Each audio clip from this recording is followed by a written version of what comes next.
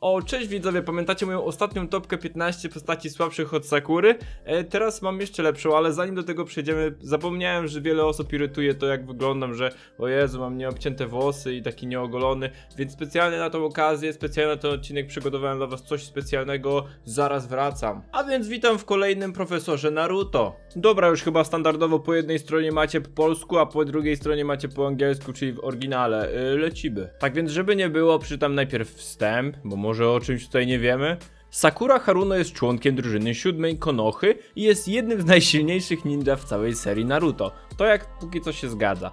E, rozpoczynając swoją podróż z dość przeciętnymi umiejętnościami, Sakura rozwijała się z niesamowitą prędkością przez lata, dzięki szkoleniu pod okiem jednej z legendarnych saninów, Tsunade Senju. Wbrew powszechnemu przekonaniu, Sakura jest doskonałą ninja i udowodniła swoją wartość na wojnie ninja, w której uleczyła niezliczoną ilość shinobi ze wszystkich e, wielkich narodów. Tutaj będę trochę naprawiał ten tekst, bo to jest przez Google tłumacze robione. Także do, co do tego wstępu, w sumie tu ciężko się nie zgodzić do czegoś. Akurat to jest prawda. W sensie e, na początku była słaba, później e, była spoko, gdzieś tam w tej wojnie już była całkiem silna. Ale to, nic, bo jak poprzednia topka, ta e, z 15 postaciami słabszymi od Sakury, e, była jeszcze do przełknięcia jakoby, tak ta Mm, może po prostu przejdźmy do pierwszej osoby, co? No i pierwszą osobą, którą Sakura może pokonać jest Kisame Hoshigaki. Przeczytajmy opis. Kisame Hoshigaki jest jednym z legendarnych siedmiu szermierzy mgły. Ma potężny żywy miecz o nazwie Samehada, który może wyssać czakrę swoich ofiar. Sam Kisame przypomina człowieka rekina i może przekształcić się w potężną bestię rekina, która może poruszać się naprzód z dużą prędkością strumieniami wody. E, co więcej, może zalać wodą całe areny i ma osłabiające jutsu więzienia wodnego. Pomimo tego wszystkiego Sakura Haruna jest bardzo silna pod koniec Naruto Shippuden i może przywołać Katsuyu, pozwalając jej uderzać cios za ciosem najpotężniejszymi technikami Kisame, jak rozumiem, tak to miało być przetłumaczone. Ale, ale prawdziwą różnicą jest to, że Sakura jest świetnym taktykiem, Ponadto jej medyczne ninjutsu i Byakugo pozwolą jej pokonać dystans w walce z Kisame. Okej, okay, no więc tak. Y, oczywiście, że Sakura stała się silniejsza podczas wojny. Y, tak jak wszyscy, no nie wiem, obejrzyjcie sobie filmik z balansem. Tam sobie trochę za mało powiedziałem, ale ogółem chodziło mi o to, że czym dalej w Naruto, tym wszystkich siła rośnie. Jeżeli mieliście postać, która jest przedstawiona dopiero na samym Shippudenie, y, to nieważne jakim gównem by była i tak będzie na 99% lepsza niż geniusze z pierwszej serii taka jest prawda, tak działa Naruto. Co, ciągle musi być coś silniejszego, więc każda nowa postać, e, czy każda obecna jest coraz bardziej silniejsza. Coraz silniejsza, nie coraz bardziej silniejsza. I teraz tak, Kisame, no trochę wcześniej przed wojną se umarł, tak? Ale nawet jeśli e, Sakura miała to Byakugo, była bardzo mocna, no to to jest Kisame. Jeden z najsilniejszych w Akatsuki. E, I teraz tak, to jest trochę słabe brać y, tylko wygodne sobie argumenty, tak jak ja to robię w swoich odcinkach, czy oni tutaj, y, że okej, okay, na wojnie była super silna, a Kisame, no był kozak, ale, ale jednak nie ma, nie ma szans. Możemy to przeanalizować w ten sposób, że będziemy brać każdy okres życia, ale w przypadkach takich jak ten, nawet nie ma co za bardzo mówić. Kisame jest w stanie rozwalić Sakurę zawsze. Do końca Shippudena za każdym razem wygrałby solo z Sakurą. Koniec, kropka. Nie, nie trzeba nawet tego rozbijać na to, że e, Kisame jako dziecko, chociaż nie znamy, e, Kisame jako starszy, z Sakurą starszy, starszą. Nie, po prostu Sakura nie ma z nim szans. Przejdźmy do kolejnej osoby, zobaczmy co tam się kryje. Na 13 miejscu jest y, Kakuzu. Ona nie może go pokonać, bo ta topka to jest 7 osób, których może pokonać, 7 osób, których nie może pokonać. I Kakuzu jak widać nie może pokonać. Dlaczego? Zaraz się dowiemy.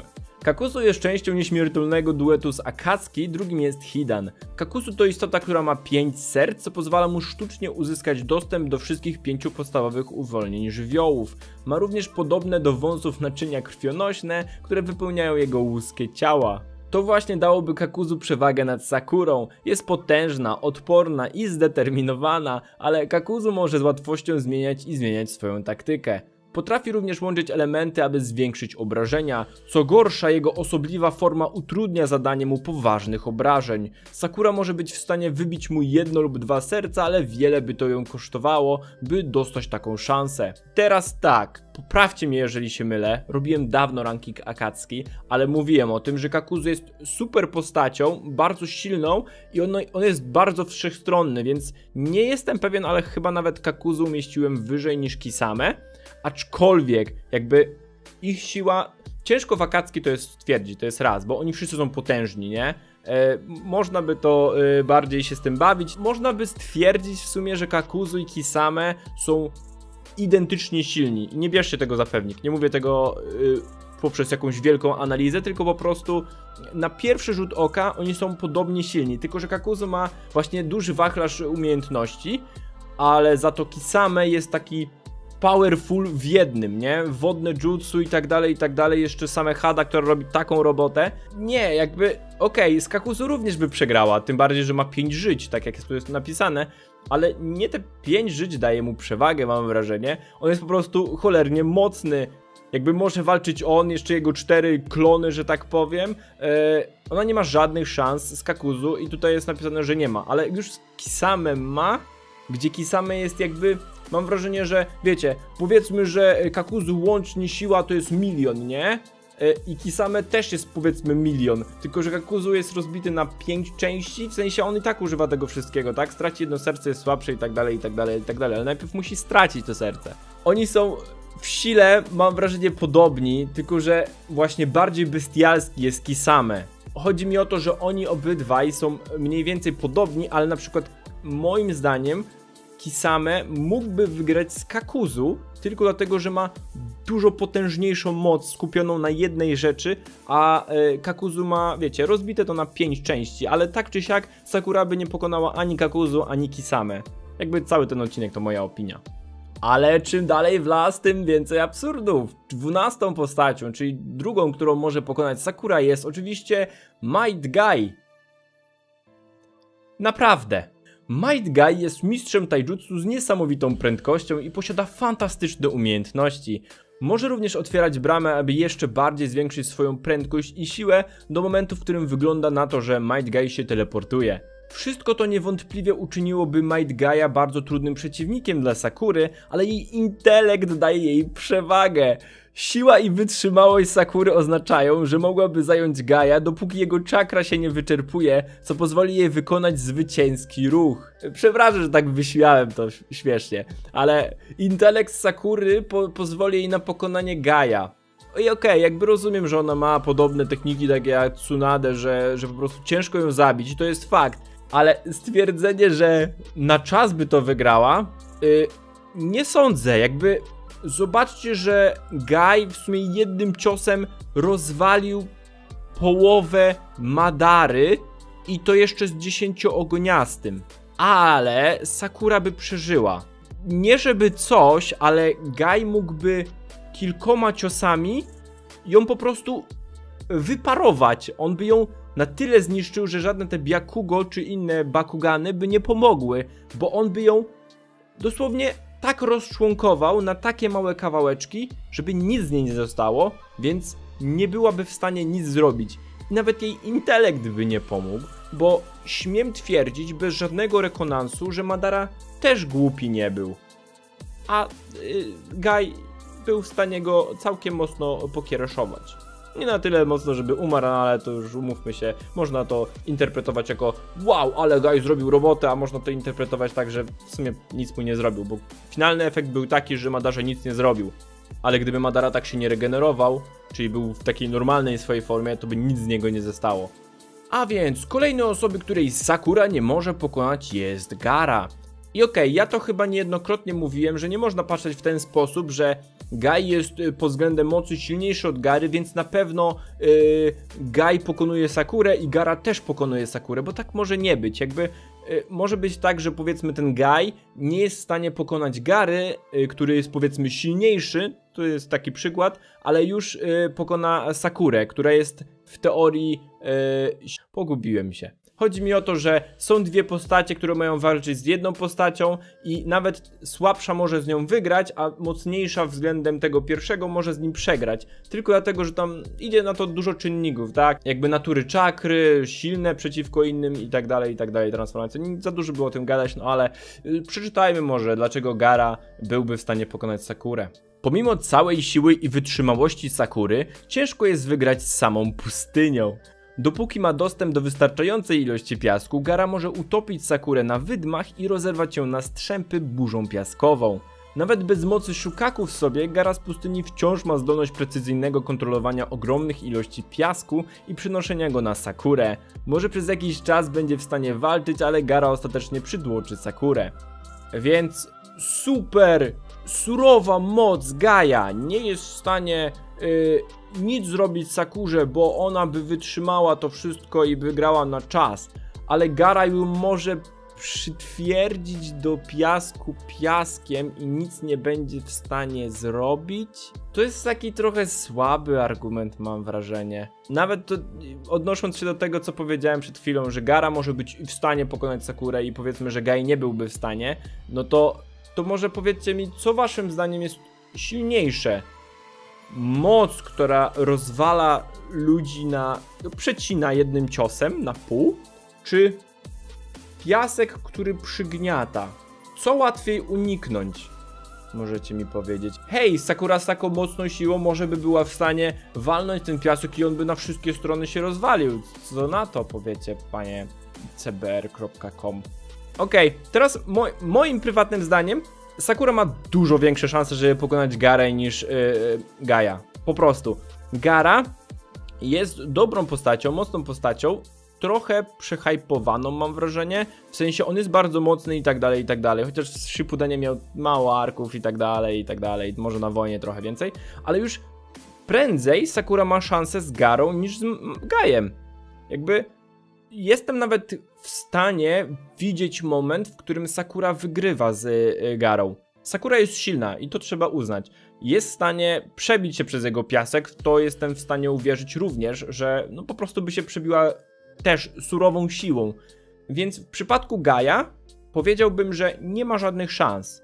A w przypadku Gary zrobiłbym odwrotnie. Już prędzej Garę y, by pokonała Sakura niż Gaja. Możecie się z tym nie zgadzać, to również jest taka luźna pogadanka. Ja nie zamierzam tutaj y, rozwijać na temat, że o, tutaj Gara zrobi coś, tutaj zrobi Sakura coś. Ten, ten opis jest taki, więc ja się do niego odnoszę. Też robię taki opis, ale moim zdaniem Sakura byłaby w stanie pokonać Garę patrząc na Sakurę z końca Shippudena i Garę z końca Shippudena. Przedtem wątpię. Kolejną osobą, którą może pokonać Sakura jest Sasori. I Sasori był jednym z członków Akatsuki poszukiwanym przestępcą o randze S.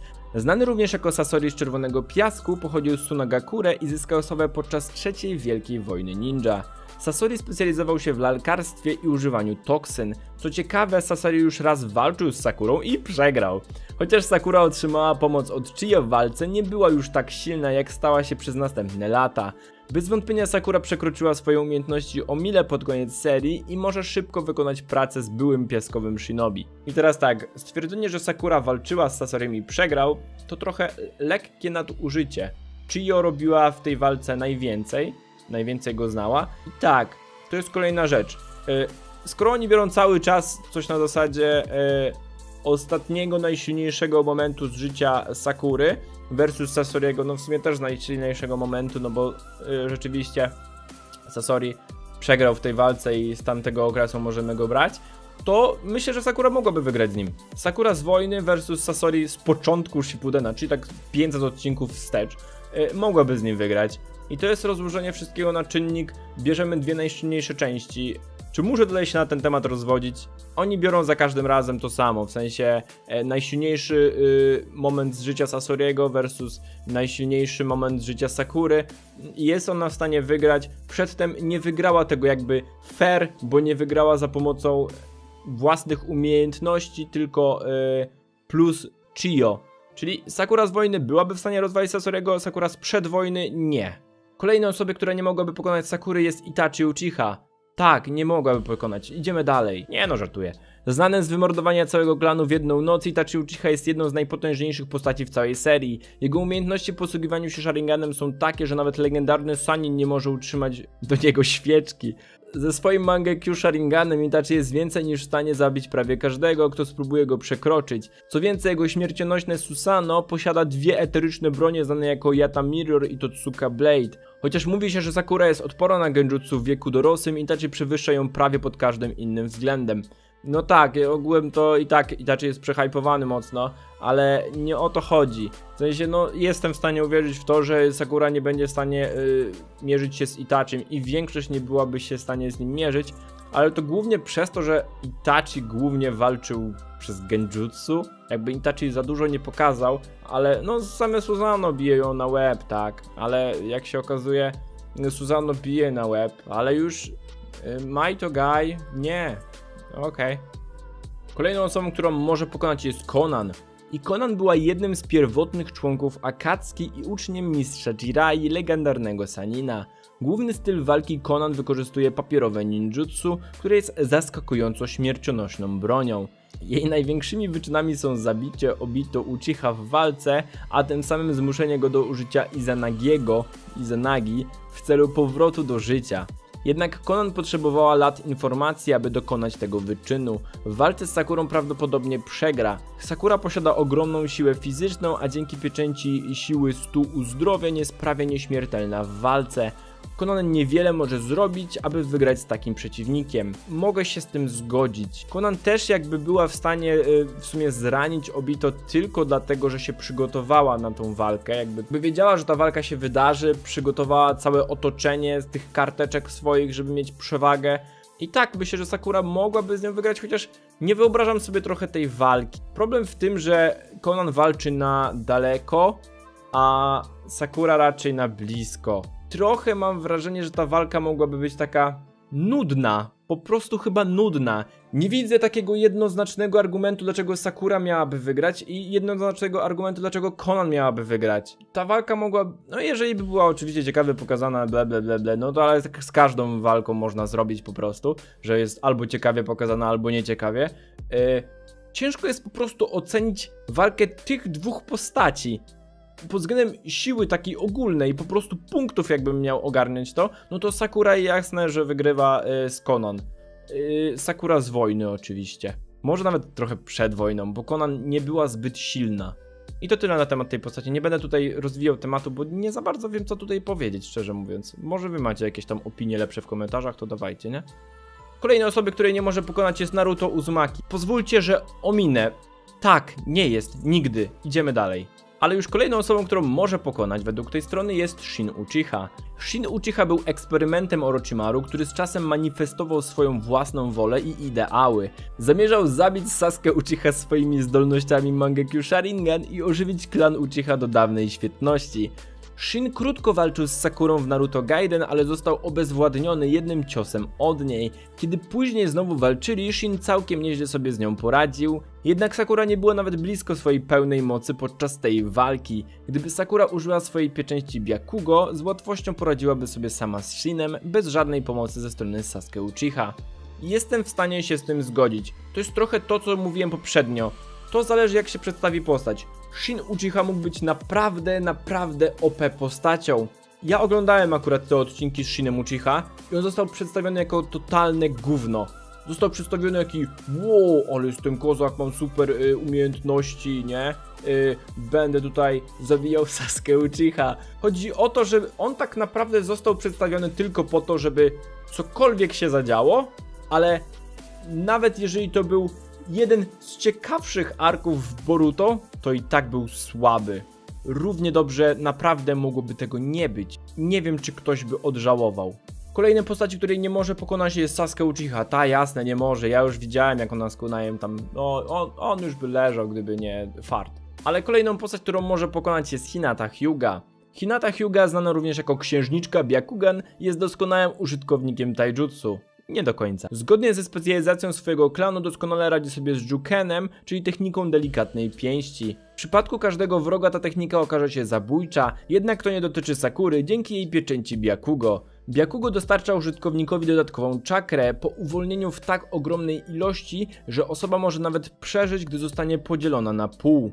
Jeśli punkty czakry Sakury zostaną trafione, może użyć Byakugo jako zewnętrznego źródła czakry, a stamtąd wystarczy już jej jedno trafienie, aby Hinata spoczęła. I ponownie, jasne, że Sakura z wojny wygra z Hinatą. Ale to jest to sama sytuacja co z Sasorim. Bierzemy najsilniejsze okresy z ich życia i olewamy totalnie wszystko. Hinata nie była najsilniejszą postacią na świecie od samego początku. Przegrała z Nejim, nie? Ale jednocześnie, okej, okay, ona też się rozwijała nie tak szybko jak Sakura, bo jakby Hinata się rozwijała do pewnego stopnia i to była taka se moc, ale Sakura musiała od takiej mocy przechodzić na początek, nie? I jakby, jeżeli ktoś zaczyna od zera tak naprawdę, to ta moc się szybciej zwiększy niż zaczynając już od jakiegoś poziomu. I znowu jest tu ignorowany fakt, że Sakura z wojny z Byakugo pokona Hinatę. Okej, okay. przedtem nie. Po prostu nie ma z nią szans. Tyle. Koniec, kropka. Nie starałem się tutaj faworyzować żadnej z nich, nawet jeżeli bardziej lubię Hinatę. Oczywiście uważam, że Hinata by przegrała z Sakurą, z Byakugo, z wojny i tak dalej, i tak dalej, i tak dalej. Ale sprzed tej wojny, gdzie Sakura miała tylko pierdzielnięcie, ok, to było mocne, chociaż nie sądzę, by było na tyle mocne, żeby poradzić sobie z Hinatą, która, no prawda, nic zrobiła Feinowi, ale no chociaż spróbowała, nie? Kolejne osoby, której nie może pokonać jest Kakashi Hatake i trochę nie wiem na jakiej zasadzie jest robiona ta topka, bo dlaczego na przykład Kakashi jest niżej niż Sasuke i Naruto? W sensie, to jest losowe, czy, czy, czy nie? Czy to ma znaczyć, że Kakashi jest silniejszy niż poprzednicy, bo jest tak nisko, czy zarazem wysoko? Nieważne. Nie będę czytał nawet tego opisu, szkoda naszego czasu, tak? Tak, nie jest w stanie pokonać Kakashiego. Nigdy. Chociaż może. Nie jestem pewien co do tego, czy w niektórych aspektach Sakura nie mogłaby wygrać z Kakashim. Nie jest to oczywiście takie, że yy, Kakashi na pewno jest gorszy od Sakury. Nie, bo z tym Byakugo i tak dalej, w Taijutsu mogłaby mieć szansę ale łącznie z całym Kakashim nie sądzę, by miała jakiekolwiek szanse. I nie mówię tutaj, że bierzemy jakiegoś Kakashiego z dwoma Mangekyu, z, y, z Susano. Nie, mówię o nawet z takiej Sakurze z Boruto i, i Kakashim z Boruto. Nadal raczej nie ma szans przez doświadczenie, umiejętności Kakashiego no po prostu typ jest zbyt mocny pod każdym możliwym względem. Choć z taijutsu mógłby mieć trochę problem. Nie, że jakoś bagatelizuje siłę Kakashiego w taijutsu, aczkolwiek no to pierdzielnięcie połączone z Byakugo naprawdę mogłoby zrobić trochę roboty tutaj, tak? Ale i tak, skoro Kakashi ma taką świadomość, że takie coś mogłoby mu zaszkodzić, to raczej by się po prostu w to nie pchał albo tego unikał, jak ognia lub jak każdy unika Sakury. Natomiast kolejną postać, którą może pokonać jest Tsunade. Jak wiemy, Tsunade to piąta Hokage z Konohy. Tsunade Senju jest jednym z legendarnych Saninów i kiedyś służyła jako nauczyciel Sakury. Zdolność bojowa Tsunade jest niesamowita i stoczyła wiele wojen w swoim życiu, specjalizuje się w większonej sile czakry i używaniu Byakugo, podobnie jak Sakura. Chyba Sakura podobnie jak ona. Jednak wiadomo, że Sakura przewyższyła Tsunade podczas Wielkiej Wojny Ninja. Przeciwieństwie do Tsunade Sakura nie jest stara i nie potrzebuje czakry do utrzymywania swoich mocy. Podczas gdy Tsunade więdnie po użyciu Byakugo, Sakura nie ma z nią takich ograniczeń. Gdyby ta dwójka kiedykolwiek walczyła, Sakura z pewnością miałaby przewagę. Dziękuję strono, jednym słowem sami się podsumowaliście. Kiedykolwiek! Poczekajcie, może Google tłumacz mi to źle przetłumaczył. Nie jestem dobry z tego y, angielskiego, czy, czy jaki to tam język, ale wydaje mi się, że dobrze przetłumaczył. Jeżeli kiedykolwiek te dwie osoby by ze sobą walczyły, na pewno wygrałaby Sakura, tak? Czy, czy kiedykolwiek zaczyna się na 500 odcinku? Hmm? Jestem w stanie uwierzyć, że Sakura pokonałaby Tsunade w Boruto chociażby. Jestem w stanie uwierzyć, że Sakura pokonałaby na wojnie Tsunade. Bo nie wiem, czy wiecie, big reveal, tajemnica, uważajcie, 10 ciekawostek na temat Naruto. Pierwsza, y, Naruto działa tak, że ma pokazać, że każde kolejne pokolenie jest lepsze od poprzedniego, czyli Naruto jest silniejszy od Jirai, y, Sakur, Sakura jest silniejsza od Tsunade, y, Sasuke jest mocniejszy od Orochimaru. Tak miało zostać to odebrane. Tak można nawet powiedzieć jest. ale kiedykolwiek to mocne nadużycie tego słowa, bo Sakura przed wojną mogłaby co najwyżej kanapki robić Tsunade, nic więcej. Taka jest prawda. Wow.